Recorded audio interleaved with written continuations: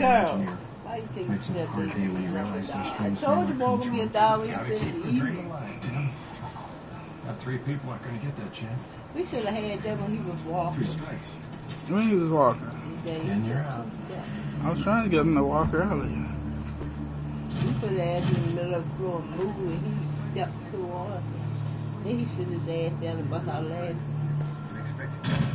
Look, I'm going out there, you my pep dog guys. Go do a dance. And I got a blue musketeer in the bed. Do a dance. Do the um, do the ugly face. People don't have the internet. For those who prefer to listen while And see what they